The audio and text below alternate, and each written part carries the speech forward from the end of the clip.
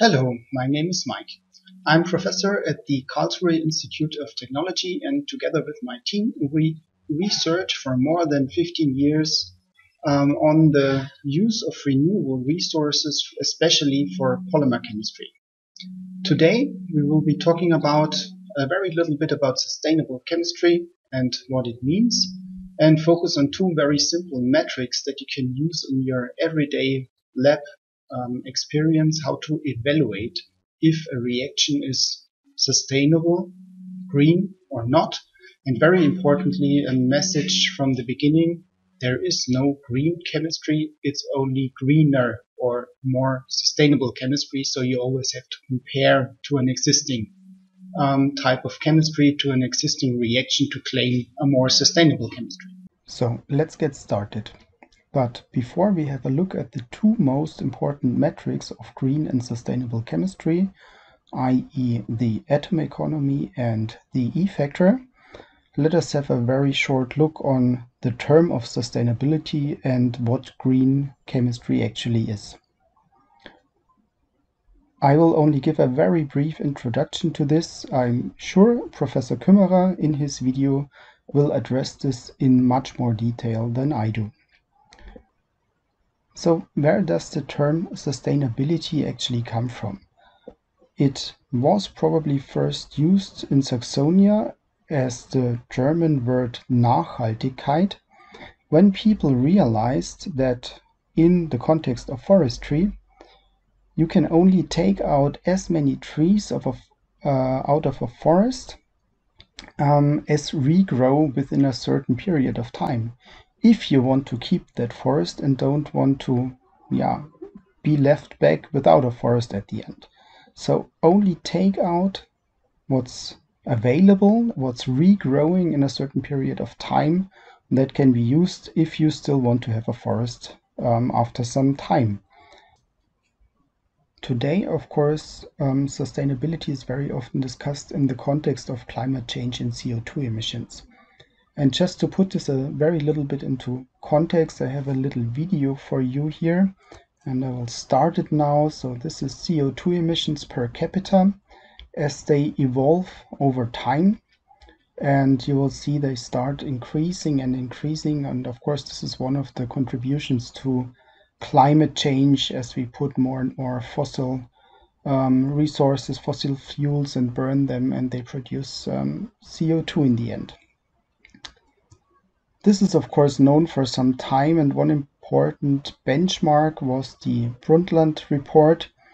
Um, it was issued in 1987, and there a sustainable development was first realized and communicated and uh, a very important phrase was termed there that the development that meets the need of the present without compromising the ability of future generations to meet their own needs. So this is somewhat a bit similar to what was uh, the thought in forestry.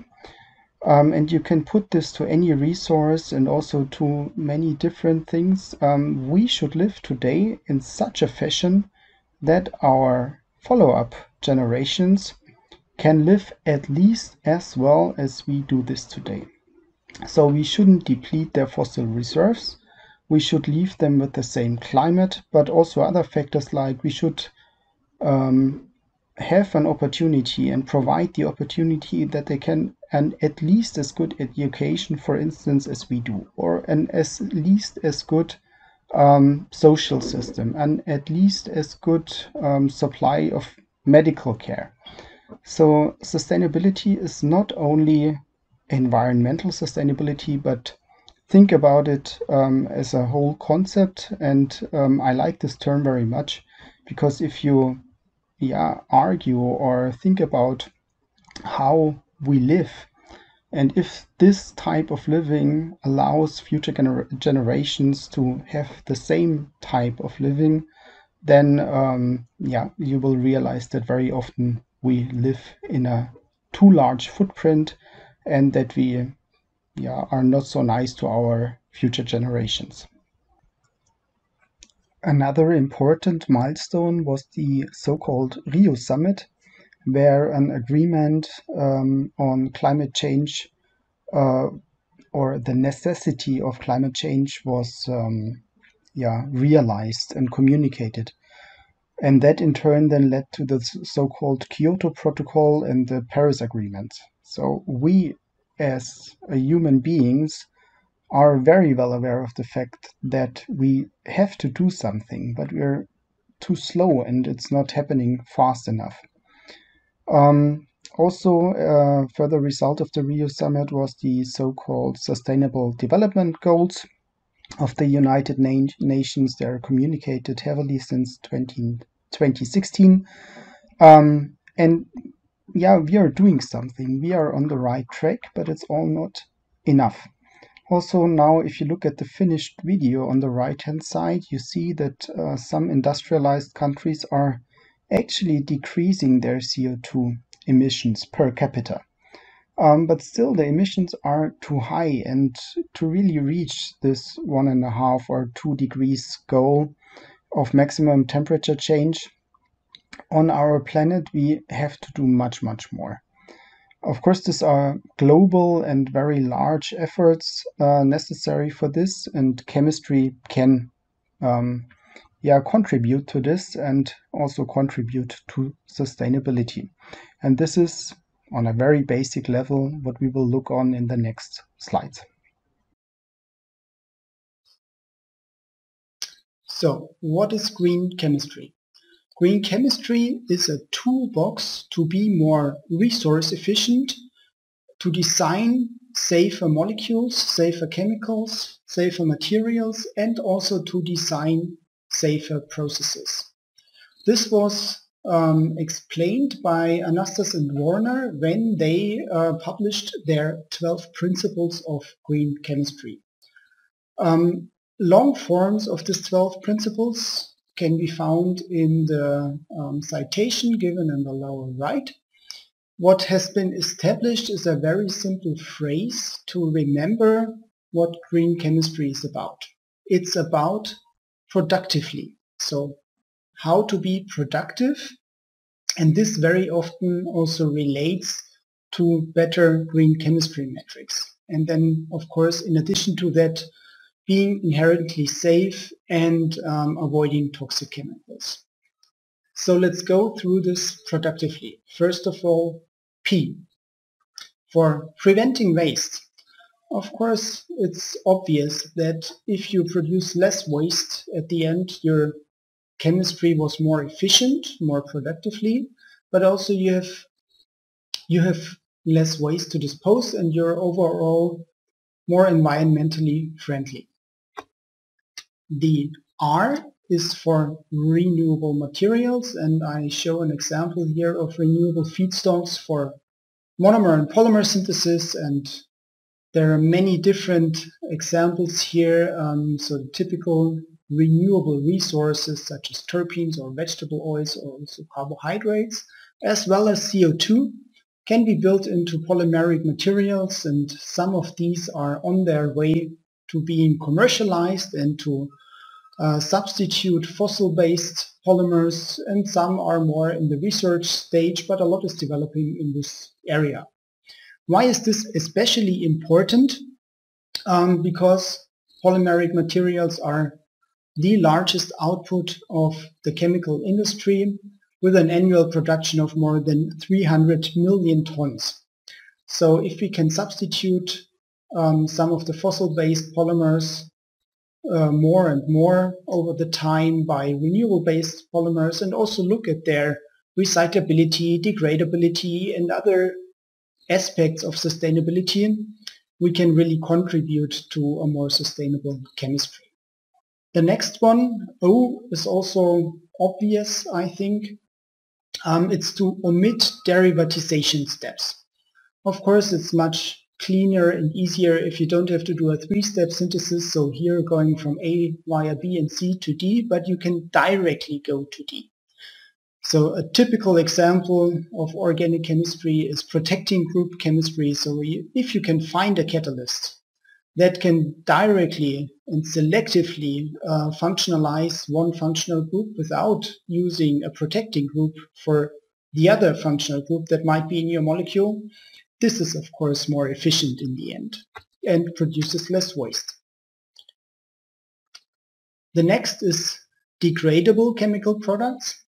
And that's of course good if things are biodegradable and you can leave them outside and they will leave no harm to, to the environment and degrade into benign degradation products. But even better might be recycling than degradable. So keeping um, your product, for instance, your polymer, as long as possible in the loop and in an application. And then, of course, if it's degraded, um, it's a good thing, and if it's not polluting the environment at the end. The use of safe synthesis methods is also obvious, of course. Um, this is, um, as it says, a safety issue not only for person working on the chemistry at the moment, but also, of course, for the environment. So no explosion hazard, no toxic reagents, and so on. A very important pillar of green chemistry is catalysis. Of course, if you do not have to use stoichiometric reagents, but you can use a catalyst instead, it prevents waste. And the catalyst, as already explained above, can of course also make a synthesis more efficient, uh, more selective, and by this also reducing waste. Also changing the energy profile, using less energy, less heat to um, allow the re reaction to proceed.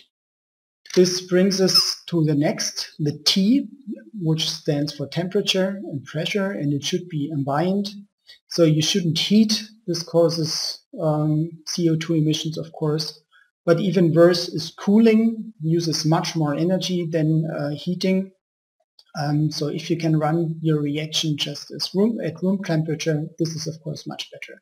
The same counts for pressure. In-process monitoring is also important um, for small scale, but especially for big scale operations.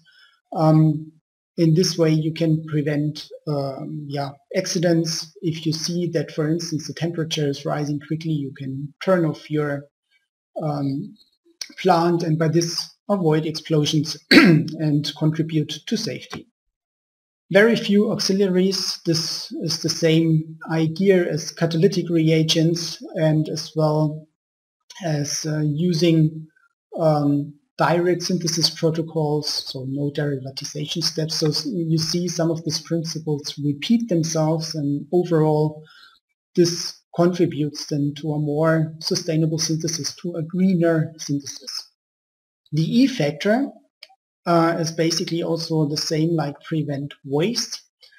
Um, it should maximize the throughput, let's say. So all of your starting materials should end up in the product. We will have a look at this E factor um, on a separate slide and I will explain what exactly this is. Of course, toxicity um, is a very important issue and you should avoid any kind of toxic chemicals throughout, even if it's renewable. A typical example is epichlorohydrin, which can be um, obtained from renewable glycerol since a few years, also on industrial scale, but that doesn't make the chemical itself yeah, less toxic or inherently safer. Of course, it's a step towards sustainability, but such toxic chemicals, if possible, should be avoided by any means because yeah, it's not smart. We are smart, and if we use smart chemistry, we can come up with better solutions. And now if you have gone through all this um, productively, at the end you're at yes, it's safe. So this is then a synthesis that can be claimed as greener. So these 12 principles allow you in a very simple manner by checking, making cross marks or check marks, um, if your synthesis fits to the principles of green chemistry. And as a general guideline, you should consider that your synthesis becomes even greener, even more sustainable, the more of these 12 principles you can adhere on.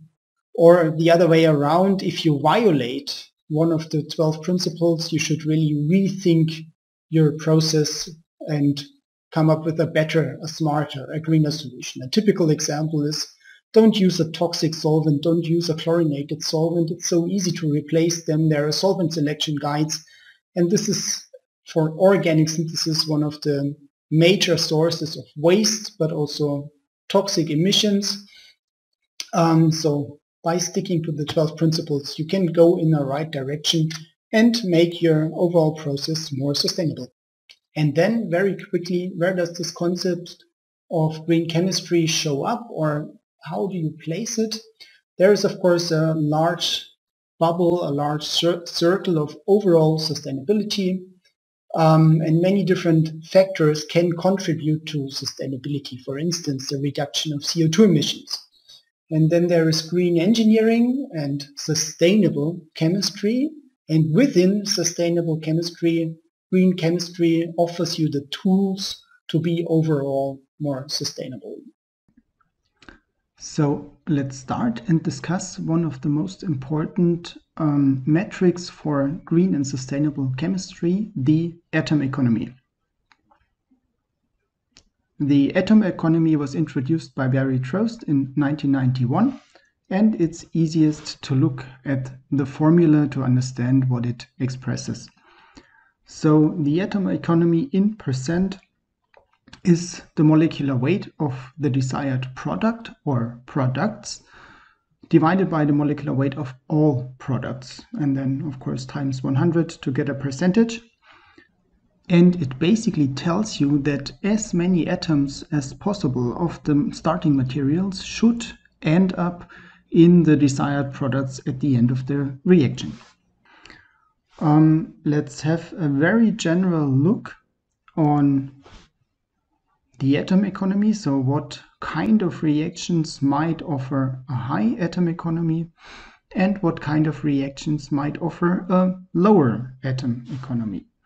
And if you think about your organic chemistry knowledge, you will realize that an isomerization or an addition or a rearrangement, all of these reactions do not lose in exclamation marks um, atoms throughout this reaction, have a very high atom economy. So an addition reaction has 100% atom economy. For instance, a Diels-Alder reaction is very often quoted in this sense.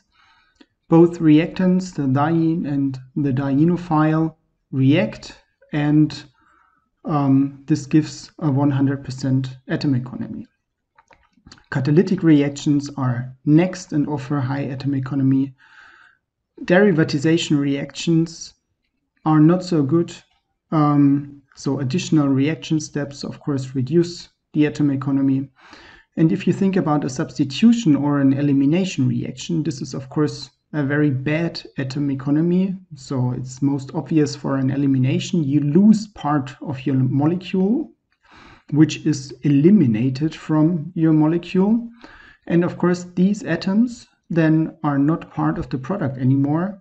And Thus, um, they are lost in exclamation marks, and um, thus the atom economy is considerably lower than for an isomerization or an addition reaction. But what is the worst actually in terms of atom economy? Well, it's no product formation at all. Of course, this is the worst part.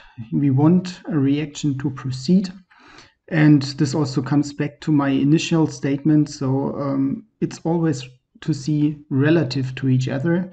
If you evaluate sustainability, of course, if a certain product is needed, you just want to choose the best way to get there. But if a reaction does not proceed at all, it's of course also not helpful overall. So let's have a look at an example of how to calculate atom economy and then also what these numbers actually tell us. Let us compare two very simple reactions. First, the elimination of HCl from ethyl chloride to produce um, the set HCl as well as ethylene. And second, as a comparison, the elimination of water from ethanol to also produce ethylene and water. So next we calculate the atom economy of both reactions. And this is very simple. We just have to remember what the atom economy is. It's the molar mass of the product, the wanted product, divided by the molar mass of all products. So for the first equation, we take the molar mass of ethylene and divide it by the molar mass of ethylene and HCl. And if we put in the numbers, we get 43.5%. And the same we do for um, the second equation where we eliminate water from um, ethanol and what we get at the end here is an atom economy of 60.9%. So now let's discuss a little bit what these numbers actually mean. So first of all, these numbers tell us that the atom economy of reaction number two is higher than the atom economy of reaction number one. So far, so good. So the second reaction should be more sustainable. But it doesn't tell us at all if the second or the first reaction actually work or if any product is produced. So the yield, as you see, of these reactions is not taken into account. Um, this can be overcome by, for instance, using the so-called actual atom economy. So you would mul multiply these two percentages by the yield also in percent. So this would be one step further. It also doesn't tell you, if you just look at this bare number of the atom economy, um, what type of additional reagents you need. Do you need a catalyst? Do you need a base here for the elimination? Do you require high temperatures? Do you have to purify all the compounds? And so on and so on. So if you think about this number, you realize it's a purely uh, theoretical number that is calculated just by looking at the reaction equation, but otherwise it doesn't tell you much. So it's a first step to evaluate a sustainability or a greenness or compare different reactions to each other. But practical use is really, really limited, and this is why we will now discuss the so-called E-factor. Some of the disadvantages um, that the atom economy has so for instance, that you do not include the solvent that you need for the synthesis and the calculation, or that you do not consider the yield, can be overcome by the so-called environmental factor, the E factor. This E factor was introduced by Roger Sheldon, and it is a very simple metric. It is the amount of waste and unwanted side products divided by the amount of product that you actually form. Typically, um, you refer this to one kilogram of product. So how many kilos of waste are you producing per kilogram of product? And then in this waste and unwanted side products, you can include really everything, starting from the solvent, the catalyst you might need, um, also the purification steps. So if you do a synthesis typically in the lab and you use a lot of silica gel to purify your compound, your E factor will be very, very high. Of course, you can also do things like um, recycling. So for instance, you can calculate an E factor with solvent recycling and without solvent recycling and compare them to each other. Um, it's a very useful metric to compare different synthesis protocols already at the lab scale with each other to decide which one has advantages in terms of sustainability and of course not. It's very simple, as put here in this uh, very simple graphic also. So you have your raw materials, you do your synthesis, you get a product, this is what you want, and of course you get also waste. And in this simple example, you start with three kilos, let's say, of starting materials, you make one kilo of product and two kilos of waste. So your E factor is two. And for a classic lab scale synthesis, an E factor of 2 is not so bad, actually. If you look at the petrochemical industry, for instance, where only a lot of distilling is done and cracking is done and everything is used, your E factor is very low, cl goes close to zero. Um, and this is actually what we would like to have, of course, to produce as little waste as possible. But then again, if you look at a pharmaceutical that has several synthesis steps, you might end up with E factors that are above 100. Um, so there is a lot of room to improve and to make things more sustainable at the end. So we're at the end of um, this short presentation today, and I hope I could give you an overview um, of how to assess the sustain sustainability of a chemical synthesis. Very simple tools, but if you employ them on an everyday um, basis in your synthesis routines, in optimizing a catalytic reaction, for instance, or um, designing a new synthesis, you can very easily implement sustainability metrics and have arguments why the one or the other synthesis is more sustainable. And remember, more sustainable very often also means more efficient.